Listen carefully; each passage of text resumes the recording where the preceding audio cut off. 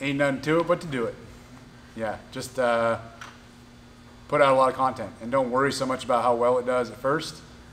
Just put out content because you want to help people or because you like making content or you are really eager to share whatever message you have.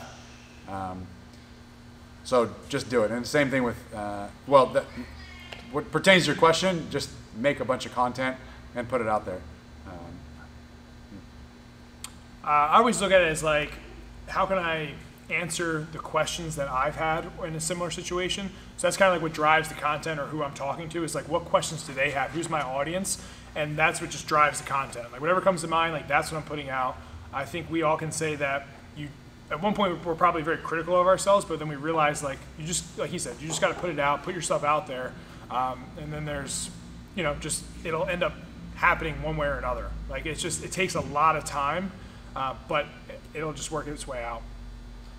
Yeah, I would say definitely try and find your voice. It's gonna feel awkward when you start because you honestly won't have an identity. You won't really know like what's my niche. You know, like who do I really want to talk to?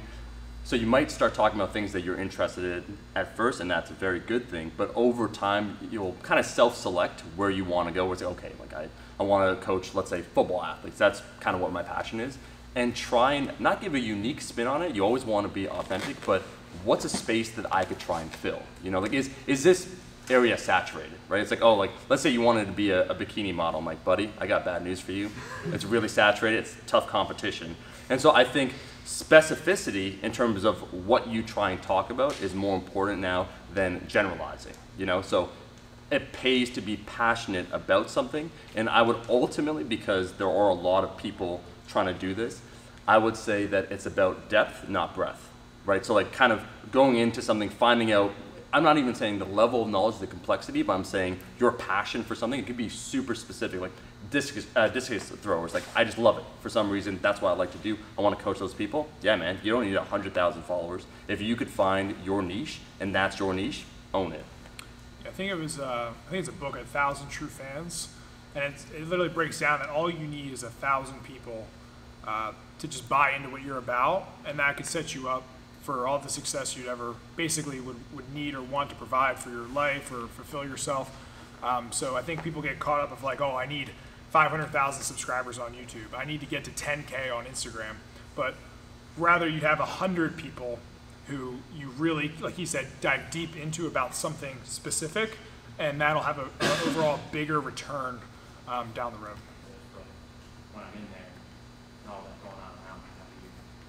Are you? Is there any way to lift late at night or really early in the morning? I try now. I would. Try, I would personally, uh, if whatever, if my kids waked up, woke up at 6:30 a.m., I would get in the gym before then. Uh, that's me personally. Yeah. But uh, other than that, I would probably turn the music up as loud as I can so I can't hear them. I tried. Doesn't work. Um, it's tough. I would say just ease up on the reins a bit. Don't uh, be so focused on your session that if anything disrupts this, my workout's gone to shit. Just I don't know. just accept that it's going to happen and uh, try to roll with it. But that's that's hard. I don't I don't have a great answer, especially because I don't have any experience in it. Yeah. So. I think uh, I can kind of relate. Not I don't have kids or anything, but just with the business, like I know if I start thinking about other things outside of training, um, it can influence how the session may go. Or if I know if I step foot in the office, like I'm probably not going to train or, or whatever. Um, so for me, more recently, it's just been like focusing on uh, the opportunity I get to lift every day.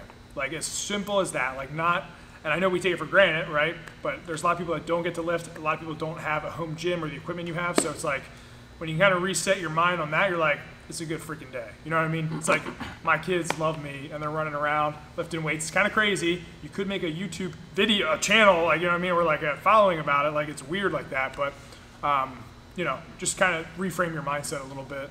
Yeah, maybe like, like first world problems. Yeah. Like my kid, li- my kids bother me when I get to lift in my own garage.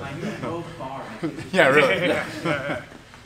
You're a deadbeat like me, and I like it. You don't like training in the morning. I love it. I, I would say. Uh, honestly, uh, what I personally have found, if you're trying to go for strength, and you, I understand that where, you know, prior to lifting, you kind of want to reframe things. You want to clear your head. You want that separation from everything that just happened before.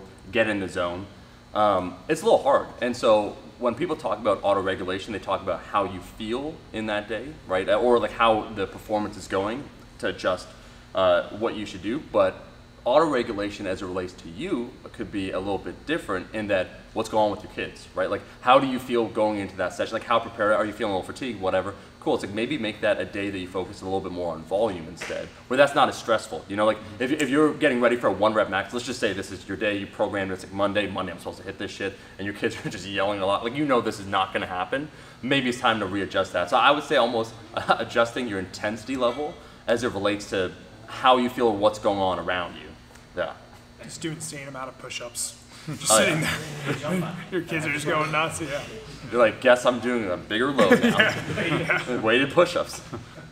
Alright, so uh, my issue's been my squat. Um, my bench press, my deadlift for last year have been going up. I'm happy with those. But um, my squats stayed about the same. The reason is, is every time I start getting heavy, my, I lose my depth.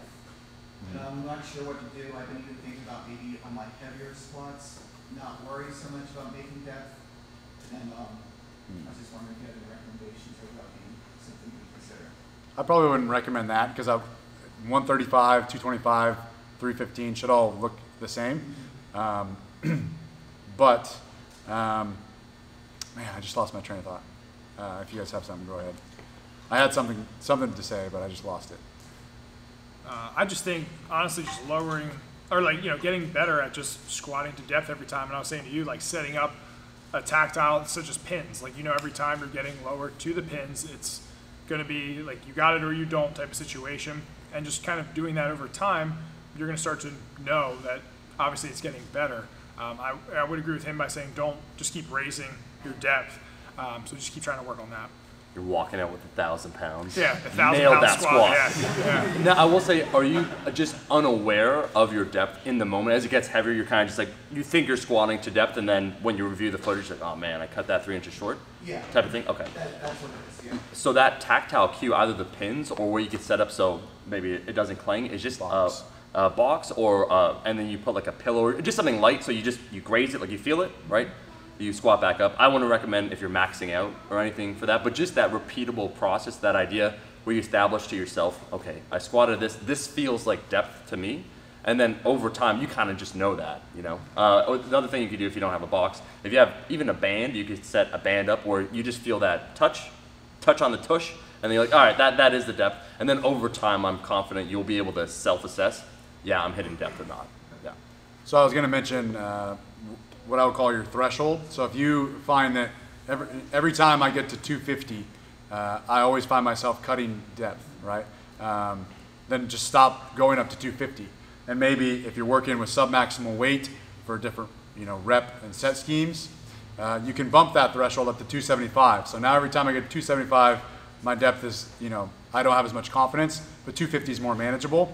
Kind of similar with rounding your back. You know, every time I get to 315, my back rounds over real hard when I deadlift. Um, maybe over time we could push that threshold up so that it doesn't happen until you get to 365. Um, so if it always happens with a certain weight, stop going up to that weight all the time. fatigue in my lower back, does that necessarily mean that it's something wrong with my form? Because I find myself questioning my form a lot when I get a little fatigue in my lower back. No. Next word. Short answer. I would say the same thing. No, nope. Um, I don't think it's anything anything to worry about. Um, oftentimes, you know, when we're lifting and we feel something different, we just assume it's bad. You know, like, oh, this feels different. My knee feels different today. Um, it's important not to catastrophize and say, I know you're not, but uh, you know, oh, I feel fatigued in my back. What am I doing wrong? Maybe nothing. You know, um, and I might look at if you say every time I squat, my back is really bothering me. Then I would just look at overall programming, your overall fatigue. You might be doing too much. Um, but generally, no, I would say it's nothing to worry about. about maintaining my strength while losing weight. What specifically? Tips. How tips? Yeah. Um, partially increasing my strength in certain areas. are you trying to lose a whole bunch of weight quickly, or just like eh, a couple of pounds over a period of time? Yeah, I don't think there's anything. I think it's perfectly reasonable to expect, and I don't. Uh, I'm sorry. It's uh, uh, it's reasonable to expect you to just maintain or increase your strength if you lose a couple of pounds. Lose a couple of pounds, you. I, I would Oh. say percentage of body weight too, because for you, 10 pounds might be a lot, but for someone else, Right. it might be little. Yeah, so um, I think that I think that you there's no reason you shouldn't be able to lose a couple of pounds, whatever that means. Uh, I don't think you should expect that. Hey, I want to lose five pounds. I know my strength's going to go down, so what do I do? Right. I wouldn't expect that. Uh, but auto regulation would would certainly help with that, so that you aren't uh, set to a certain percentage or a certain weight increase every single session or every single week. You just, if you're familiar with RPE, um, you just follow that from session to session. Out of curiosity, uh, what? Let's just try and frame it. How much weight are you trying to lose? I haven't made my mind up. Okay, I mean, by the end of this year, we'll be, I will be down at least ten more pounds. Gotcha. Okay. So, as a skinny boy that likes doing body recomp and also likes to lift some weight, I've thought about this quite a bit. And I've experimented with it. And uh, I think there's a few different approaches, exactly what Alan said. I think if you're willing to go for a slower approach, it'll be far less noticeable, any potential decrease. And in fact, I think with proper programming, you can increase your strength. I think it depends upon your overall level of strength. If you're a world champion, if you're an advanced lifter, and you're trying to go down a weight class, and in that time frame, maybe it's 12 weeks, it's 16 weeks, it's not a lot of time. Yeah, you're to experience some strength uh, uh, decrease. If you're a beginner, intermediate, or if you're just someone where you're still noticing it's easy to add more pounds to the bar and you want to lose weight, I think it's entirely possible if it's, let's say, 10 pounds and you want to do it over, you said by the end of the year, so we're looking at what, maybe like 12 weeks, something like that. Um, that's a pretty short time frame it's still possible. The other technique that I like and something I've been doing recently, and I'm going to try and test out the bench at the end just to kind of verify uh, some of these things for myself. But the slow and steady rate, I'm a really big fan of. The thing that I've been doing, and I first learned from Eric Helms, is the concept of diet breaks. And so you could do 12 weeks where you're in a moderate, moderate deficit. So let's say 300 calories below maintenance. Okay, so you're losing maybe about half a pound, a pound a week. That's one way for sure to do it. Another way is to be slightly more aggressive for a certain block. So you do three weeks in a larger deficit, two weeks then at maintenance. But in those three weeks, instead of losing half a pound, you lose a pound, maybe 1.5 pounds. So you're a little bit more aggressive. And then you'd manage, this is getting a little bit complicated, but I'm telling you, I think this is uh, solid. You would pair your training intensity to where your calories are, right? So when you're eating more maintenance and you have more energy and you feel better, you should be training a little harder, kind of what Alan was saying, like RPE, right? Where it's feeling better, well, let's lift a little bit more. Three weeks of dieting or taking three weeks of a pretty aggressive fat loss phase is not going to kill your strength, or it shouldn't, right? If you're training well, it shouldn't. But those two weeks, then you'll feel a lot better. And if you did two blocks like that, three, two, three, two, by the end of it, you'll still be down 10 pounds or 8 pounds, whatever the goal is, right? Um, but I guarantee those two week maintenance blocks will feel a lot better than if you're just like, man, I'm just gonna do six weeks straight, go right into it, lose those 10 pounds. So I think cycling your intensity and your overall volume relative to what you're eating is super important. And I think for most people, just in this room, if they wanna lose some weight and they're focusing on getting stronger, it's entirely possible. You're like, that was way too in depth. No, Yeah. I thought it was good. Yeah. Up on that. First week is not quite as heavy. Yeah. So could I basically adjust my diet so I might be in a deficit, more of a deficit the first week, less of a deficit the third, second week, and then closer to maintenance or even above the third week? Would that potentially still work, or is it not quite? Yeah. Okay. So, uh, great question. Again, thinking about this way too much. But it so it depends on what style you want to do. I like three. The one I've currently been doing, and it, it's been great. I'm uh, down now about 16 pounds in 11 weeks or 12 weeks, and I would say relative body weight strength is absolutely there. Um, the bench is probably down like 15 pounds, but I've lost 15 or 16 pounds, so I, I think that's an acceptable loss. You know, um, I personally like the three two, but you could do three three. It depends on your timeline. Like let's say you got a meet and you're 12 weeks out and you want to, for whatever reason, you want to be in that lower weight class, like you just have that timeline, okay, like we need to talk. You need to find the right ratio that works for you. I'd say 3 3, you'll be chilling. Like you won't, you won't experience probably any decrease in strength. Uh, 3 2 is what's working for me. I, I've had some people, I know people that do 3 1. And again, I think it may, uh, depends on your overall strength levels. But what I like to do, if you only want to lose 10 to 15 pounds, you're setting it up. So let's say basically they're four week blocks. You're training like five, three, one, right? Where it goes down and then it goes back up roughly every four weeks, right? You're building, cool. Is you start week one, which would be aggressive. Your first three weeks, you, you start at a low load and you keep building in intensity. So week three is actually pretty intense and you're actually in a pretty big deficit. But week four, where it gets intense, you're back in maintenance, so you feel better. And then week five, you'd be still maintenance, but now you're on a deload or you lower back down, right, with the weight. And as you continue to build, now you feel a little bit recharged. So yeah, totally pairing the food intake to the intensity of the programming is absolutely critical. You should like you shouldn't be on test day and it's your worst calorie week, you know, right? So those two things, I think pairing those, and I think that's it's weird. I've uh, tried to do just a little bit of research of people talking about it. People talk about weight cuts for powerlifting and for competitions, but they don't talk enough, I think, about body composition and how training performance should be affected by that. Yeah. I think um, Mike Israetel telling like RP Strength do a pretty good job Yeah. um, handling that. Even like with their templates and their programming of how they do that, because they pretty much give you ranges to be in for um, your cutting phases, your light, medium, heavy days. They break that all down. Um, just a shameless plug to them. Like I don't even like I've just used them in the past before, Yeah. um, and I've always noticed that my strength has always been ma- and then tiny we've done it too, and it's maintained pretty well um, over the years. Like ever- if I've ever used one of those, so just another thing to think about. Yeah, and Helms too. Like I know Helms is a big fan of all the longer like bodybuilders who cut for like 12 to 36 weeks versus like a or uh, or over that duration. Normally, like typical bodybuilders, there was always like the 12 week cut, Yeah. right? And he's saying like extended 24, weight, yeah. yeah, 24 plus, and even the way their physiques look compared to like a short duration cut has just been uh, a lot better. So he's been diving into that stuff. The crazy one, I'd say, uh, Joey, I'm like, this guy's a freak, uh, Eric, is that he managed to lose, I need to think of the exact amount, but he lost 35 pounds, I think, or maybe 40 pounds total from when he started to his competition. And he was at um, Occam Athletics, and he hit a max deadlift just like after his competition, immediately after his competition. And it was within uh, not only 10%, within I think 4% of his all time best. I think he pulled maybe 465 or 470, and his best conventional was like 485. And I'm like, what? You've lost 40 pounds and your deadlift has only gone down 15 pounds? Yeah. All right. Maybe you know a thing or two. Yeah. It's the step in your coaching process. Yeah, I, uh, this is one thing that I really don't like about one-on-one coaching, like long-term, is that there comes a time when they're, they're fine without me, uh, and they're just paying me to count the reps and be there. Um, and I don't, I don't let that run far. I'll let them know, hey, you can do this without me.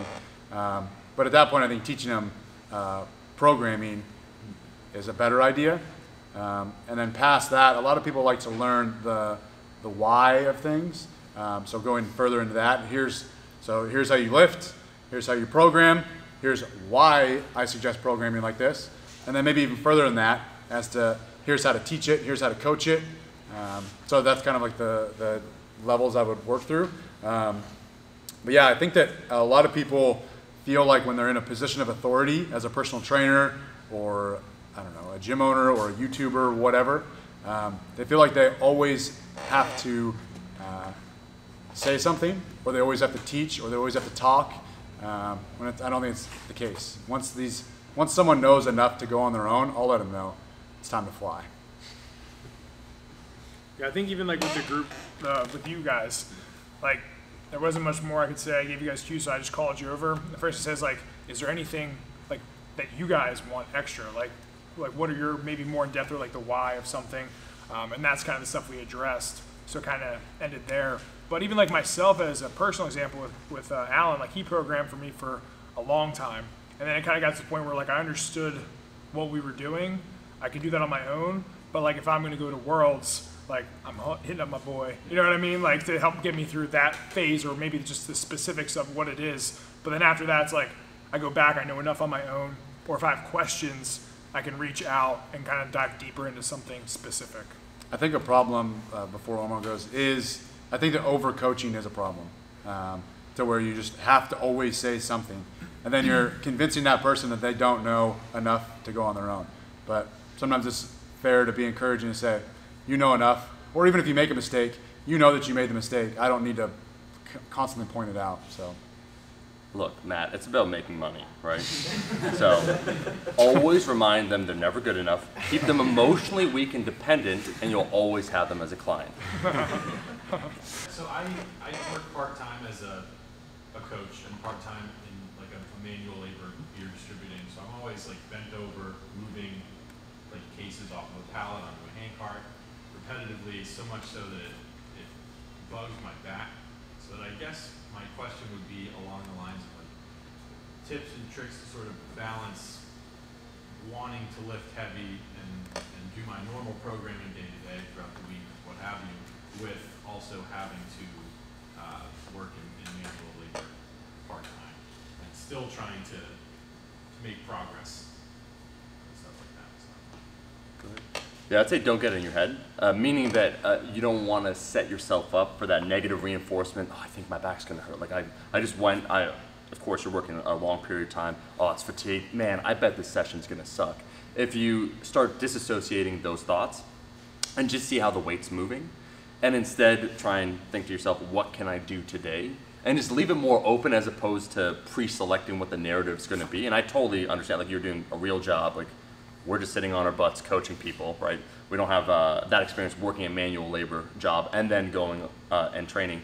Just keeping an open mind to the potential, the possibility where you know that adage, the idea that your body lies to you, just the concept that until you start lifting the weight, you have no idea. If the bar velocity, if you notice like, oh, this is actually feeling pretty grindy today, okay, we could talk, right? If it's feeling really speedy, on the other hand, you might have a fantastic session. You might come into a workout with a sore back, or you're just like, ah, man, I really, you know, it sucked.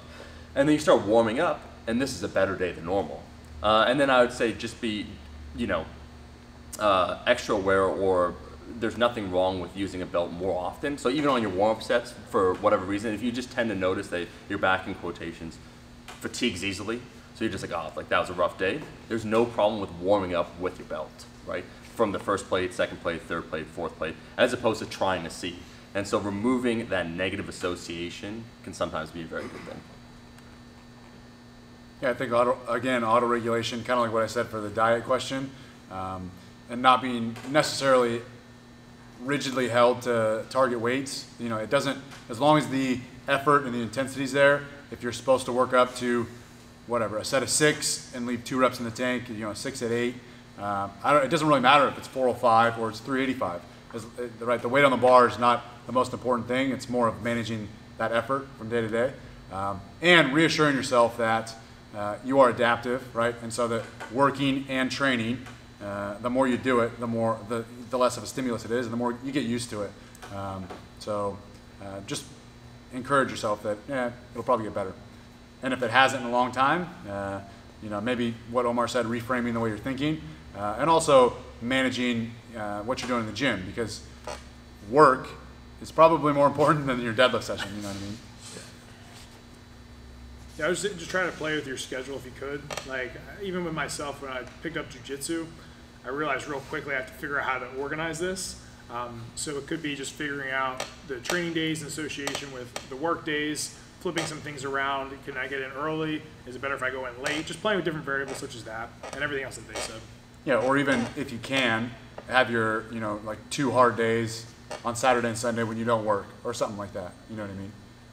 Yeah, just a quick aside uh, before you ask your question. I'd encourage everyone to check out an article by Brian Miner, uh, Miner because I know a lot of uh, you guys have been talking about the concept, oh, I can't train to a certain level of performance that I want, right? Like I, I want to hit these numbers, I'm used to this level of strength, and I want to go here, but you know, I got kids or maybe my work's bothering me. I think we actually get the concept of progressive overload slightly wrong, where we just think it's about doing more weight or it's about doing more overall volume. And his article, there's a lot of nuance to it, but reframing what the gym is or how to actually make progress or what progress means, I think will reinstill motivation for a lot of individuals here where we become too attached to, oh, the weight. Like, if I can't, you know, my back's fatigued, I can't deadlift 405 today, this session is a wash really thinking about long term and how progressive overload works. He gets into the science of it and the mechanisms and what you can do in face of, you know, just the simple fact that I can't lift more weight today is really good just to remind yourself that going to the gym and getting work done pretty much always is a positive thing.